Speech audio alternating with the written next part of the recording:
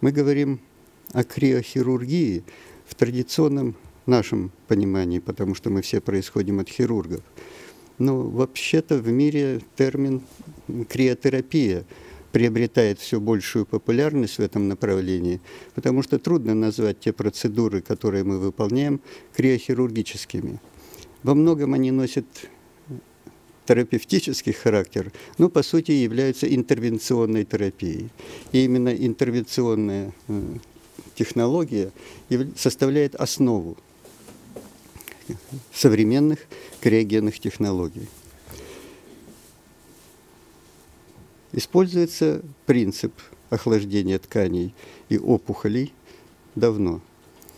Вы знаете, уже больше века с того момента, как сделаны жидкий азот и жидкий воздух, и сразу же их стали использовать.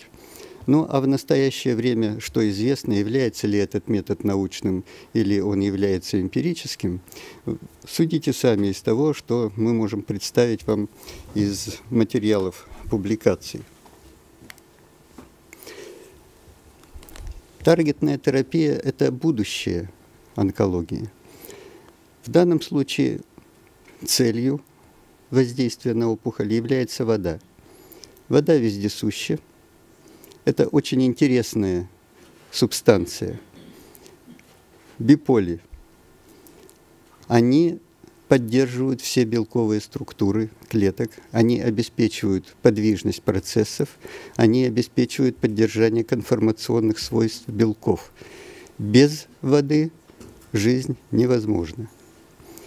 Поэтому вы прекрасно представляете, что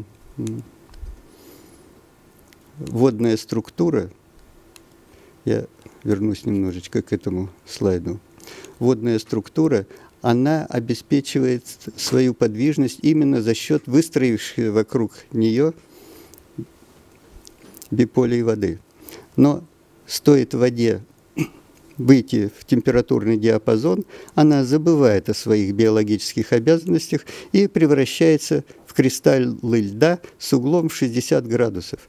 И эти шестиградусные треугольнички, безусловно, равносторонние, они разрушают своими острыми краями анатомические структуры, разрывают льдом опухоль или другие ткани. Но до того, как произойдет это страшное, даже слышимое иногда на глаз растрескивание, происходит еще другие, более сложные и, в общем-то, общеизвестные феномены. Мы поместили в криостат клетки эпидермальной карциномы и начинаем охлаждать. Вот перед вами группа этих клеток. Обратите внимание, в физиологическом растворе вокруг этой группы клетки при охлаждениях видите точечки кристаллов по периферии и ободок вокруг клеток. Это тот момент, который называют развитие осмотического шока. Клетки, ткани теряют свою воду, она уходит в окружающие их кристаллы. Конечно, клетка от этого страдает. Наконец, она закована льдом. Она блокирована полностью, в ней нет ни кровоснабжения, ни метаболизма. Но обратите внимание дальше, как будут расходиться кристаллы. Вы видите, они ведь обходили клетки, они ее не уничтожили клетки остались в принципе живыми. Да, они пострадали, у них нарушен осмотический баланс. Они местами могут быть даже разрушены, что видно под электронным микроскопом. Но они пытаются ожить. Вы знаете, что вопрос, а не консервируете ли вы клетки при криодеструкции, он всегда имеет определенный резон. Выполняем повторный цикл охлаждения в более быстром темпе. Фактически идет процесс стеклования. Кристаллы как таковые не выражены. Температура опустилась быстро, мгновенно, ну, фактически до минус 200 градусов. Кристаллов практически нет. Оттаяло все, но опять же структура клеток, если мы будем разглядывать их под микроскопом, она совершенно не изменилась. Мы можем сегодня и ближайшие дни непрерывно говорить о том, что опубликовано в научной литературе. Есть Basics of Cryosurgery, есть последняя монография, 800 страниц, это Modern Cryosurgery for Cancer. И Там описано все очень детально, и многие исследователи работают именно в этом направлении. И именно эта глубина обеспечивает сегодняшнюю научность. Наши отечественные ученые не отстают. Очень важно обратить внимание на э, основы криобиологии. Эта книга написана математиком, математическая школа, про прогнозирование температурных перепадов при разных температурных мощностях источников. Ну и книга, которая слева написана нашим коллективом нашего онко онкологического центра, это основы клинической криомедицины. Мы ведь не просто писали эту книгу. Эта книга начала писаться четверть века тому назад. И начиналась она с компании молодых людей, которые сидели вокруг криозондов, измеряли температуру во множестве точек. Видите, это 2000 год. Это уже взрослые исследователи, которые сейчас занимаются иногда разными вещами. Но благодаря вот этой скрупулезной методической работе, методичной работе удалось совершенно точно определить и затем математически спрогнозировать распространение температурных полей изотерм во всех точках ледяного шара. И что же оказалось? По тем температурным параметрам, которые были зарегистрированы в ледяном шаре, в Институте цитологии Академии наук определили, что если мы будем охлаждать медленно, то мы допусть, добьемся лучшего результата. Так. Да, да нет, я хочу вернуться. Вот, на этот слайд я вернулся. Значит, вот охлаждение синенькое. Это медленное охлаждение. Это 10 градусов в минуту. А вверху быстрое охлаждение. Здесь процент жизнеспособных клеток. Как видите, добиться нуля не удается даже при очень медленном охлаждении. Но кто же будет с такой скоростью в операционной охлаждать ткани? Да мы до вечера тогда из операционной не выйдем. Ну а может быть можно идти другим путем, не стремиться к низким температурам, а стремиться к каким-то более простым уровням. Ну что получается? Если мы на температуре минус 20 градусов будем упорно держать хоть полчаса, ничего не изменится, клетки прекрасно перенесут этот стресс. Для них это обычный житейский холодок, характерный вообще для всей нашей планеты. Но вы знаете, вот во всех этих казусах, лабораторных экспериментах есть одна особенность. Кто-то, какая-то школа, работает на суспензии клеток, и они видят очень низкую криорезистентность клеток замечательно и легко разрушаются эти клетки. Но в осадке совсем другое дело. Клеточки, как пингвинчики в Антарктиде, пригреваются друг от друга, и, и пласт клеток – это уже резистентная структура. А если мы возьмем свежие клетки, только что взятые из опухоли, то окажется, они еще более резистентны. Ну, это еще не самая большая сложность. Пойдем дальше. В любой клеточной структуре опухоли мы видим разные клетки, дифференцированные и стволовые или базальные клетки. Перед вами контрольные цитограммы. Кератин радиоактивный обозначает и дифференцирует. Ярко-зеленые – это молодые клетки, а едва заметные – это дифференцированные клетки. Мы охладили до минус 50 градусов, и что же мы видим? Дифференцированные клетки погибли, а базальным клеткам вообще хоть бы что. Более того, морфологически мы можем посчитать число и процентное, и абсолютное базальных клеток возрастает. Так ведь базальные клетки есть не только э, в здоровых тканях, они есть и в опухоли. Получается, что не так-то все просто. Хорошо, мы изучили и точно знаем ледяной шар. Это основной инструмент. У него есть масса недостатков. Он круглый, у него нет точных границ, у него нет безусловных зон, где мы можем быть уверены, что будет все разрушено. Да, вот в этой зоне в основном все будет разрушено. А вот в этой зоне будут происходить очень сложные процессы.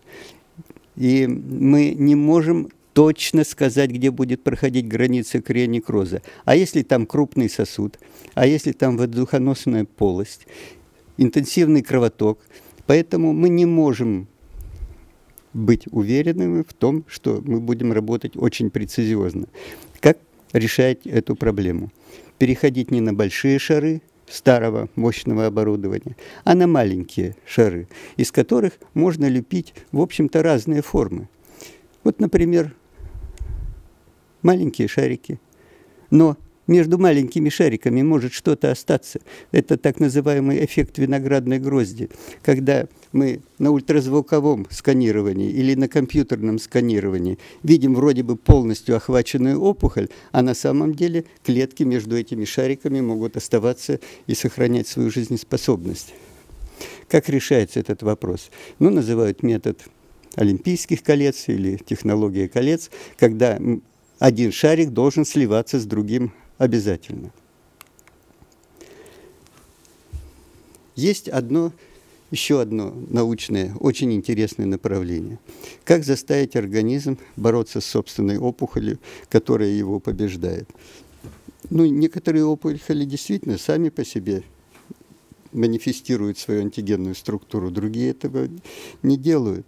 Но после криотерапии, по данным вот Института криоиммунологии, это профессор Аблин представлял этот материал на конгрессе, который проходил у нас в Петербурге, само направление иммунотерапии, иммуностимуляции основано на том, что после охлаждения опухоль сохраняет свою антигенную структуру и в процессе аутолиза является источником выработки специфических противоопухолевых антител. Это очень сложное направление. Для того, чтобы определять количественно титр специфических опухолевых антител у данного пациента, нужна очень серьезная работа, нужно очень мощное оборудование. Поэтому говорить о том, что этот вопрос решен, нельзя. Этот вопрос мы фактически только-только начинаем изучать всерьез. Что мы уже можем сказать? Повторяя циклы криоаблации, пункционной малотравматичной процедуры, мы видим даже у очень ослабленных больных со временем и с повторением циклов воздействия улучшение иммунологического статуса. Является ли этот сдвиг клинически значимым, сказать трудно. То, что касается научных основ, понятно, что никогда ни в каком научном материале не может быть окончательных выводов. И если мы что-то решили и что-то определили, то эта верность относительно только на сегодня, по тем данным, которые мы имеем. Пройдет какое-то время, появится новый материал, появятся новые цифры, и мы должны уметь отказываться от старых представлений. У нас есть много разных способов лечения. И в каком случае, каким способом лечить, мы должны решить как врачи. И что же какова же методология применения криотехнологий. Во-первых, этот метод ничем не отличается от всех существующих методов. И в, при выборе этого метода главным остается клиническая обоснованность. Надо быть уверенным, что для этого больного именно этот метод является оптимальным. Если вы решили, что этот вариант единственный или что этот вариант лучший, но нужно сделать следующий шаг. Нужно иметь оборудование, нужно иметь опыт, нужно иметь подготовку профессиональную именно в этом направлении.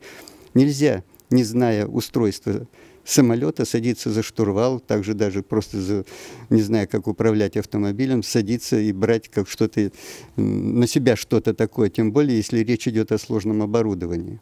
Мы должны четко представлять границы опухоли и возможности формирования ледяного фронта. Но нам самая трудная задача для нас сегодня, вот как сегодня даже в КТ-кабинете у нас шла работа, нужно точно поставить инструменты в нужное место. Оптимальная скорость охлаждения – это другой вопрос, он чаще всего зависит от житейских ситуаций, от мощности оборудования. Нам надо непрерывно следить за формированием ледяного фронта. И тут, конечно, есть методы мониторинга. Это КТ, УЗИ, температурный мониторинг, иногда визуальный.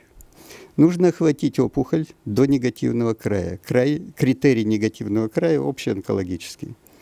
Температура в критических точках по границам опухоли должна быть где-то порядка минус 40. К этому надо стремиться, но я уже сказал о том, что это не может быть абсолютным и точным. Экспозиция при достигнутой температуре не менее 10 минут. Медленное оттаивание позволяет убить клетки еще раз за счет процессов рекристаллизации. Повторение циклов замораживания и оттаивания – это дважды, трижды, четырежды удар. Ну и криопротекция здоровых тканей. Когда мы можем все это обеспечить, и у нас есть опыт, тогда мы можем всерьез говорить о каком-то выборе. Выбрать, что мы можем выбрать, и что лучшее. И тут глаза разбегаются и определяются возможностями каждого центра, каждого учреждения. Эту картинку я позаимствовал у своих коллег из Китая. Именно так они определяют тот выбор, который стоит всегда перед нами, когда мы лечим от онкологических пациентов. Благодарю за внимание.